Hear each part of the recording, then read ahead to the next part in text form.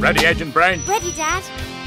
Once a visitor came to the neighborhood and dropped in upon Lucky Fred. Oh! But his neighbor named Brain, secret agent Brain, said it belonged to her instead. Fred? Mistakes can happen to the best of us, and Friday only follows Fred's command. Fred! If aliens come to pick a fight, Agent Brain's gonna have to understand.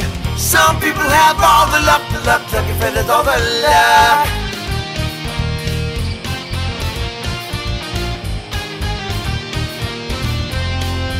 Agent Brains came down from a satellite to protect all the people of the planet.